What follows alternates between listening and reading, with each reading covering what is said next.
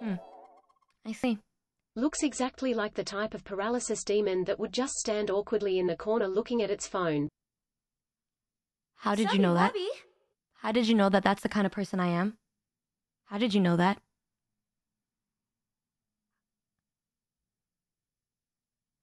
Subby Wubby. anyways, anyways, anyways.